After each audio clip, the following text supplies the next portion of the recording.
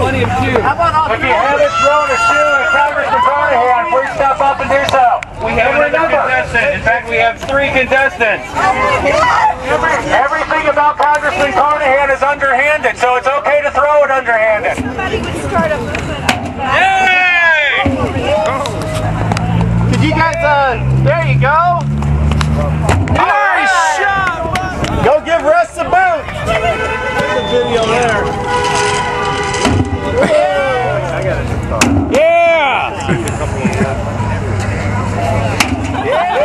The, the sad thing is, the only thing you win is a tax increase.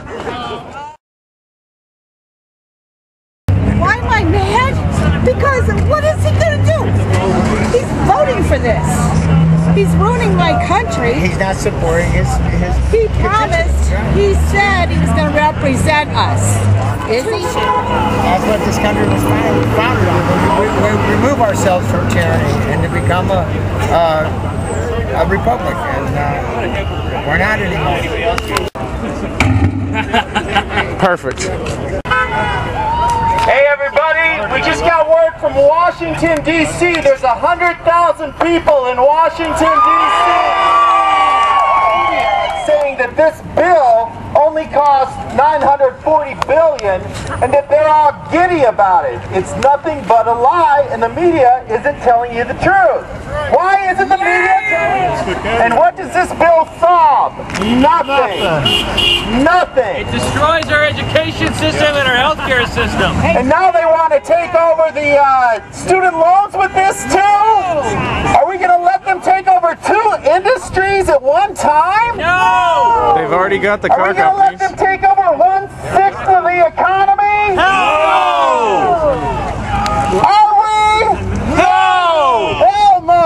Uh, this is regarding the Missouri Healthcare Freedom Act that's going to be debated on the Senate floor in Jeff City this Wednesday when we need 265 people to show up in the Senate gallery to show our support. What's going on in Washington is unprecedented in the United States history. Unable to pass an unpopular law by the rules of the House. Nancy Pelosi has invented her own rules. That's called despotism. That's called rule by decree. That's called tyranny. This was about business and politics.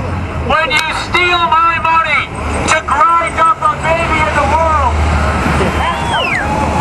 When you shred the Constitution to pass an unconstitutional law. That's personal.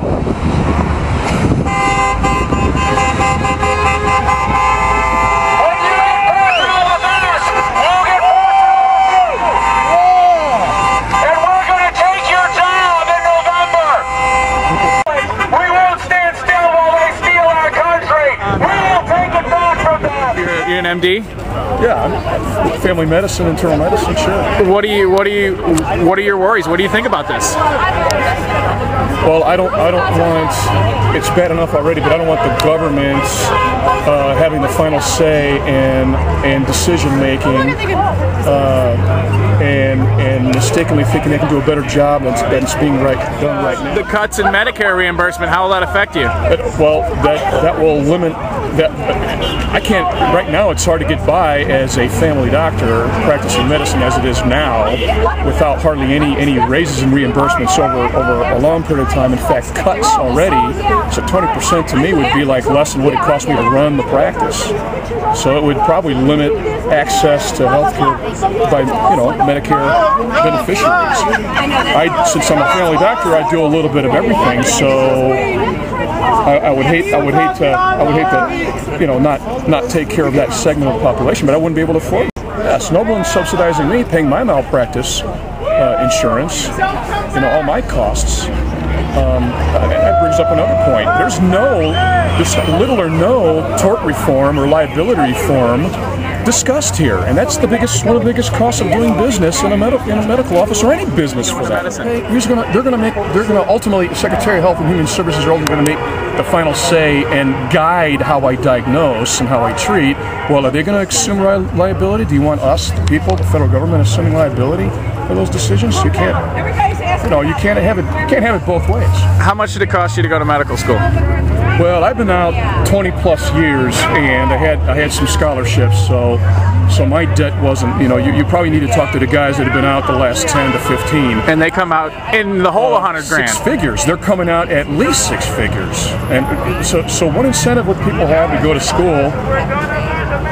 You know, 11 years minimum just to be a family practice, uh, uh, uh, board certified in family practice, and assume all that liability, and it get paid less and less and less over time.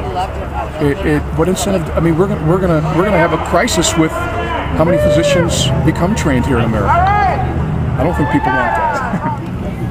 That's a slow burn, isn't it? Yeah, well, he's slow. Slow burn for a slow down. This is what happens when you don't represent the will of your Black constituents. doesn't blow. Mm, I love the way fire smells when it's burning tyranny. Woo! Hmm. Need some marshmallows. It's November for you, buddy. Oh! There you go.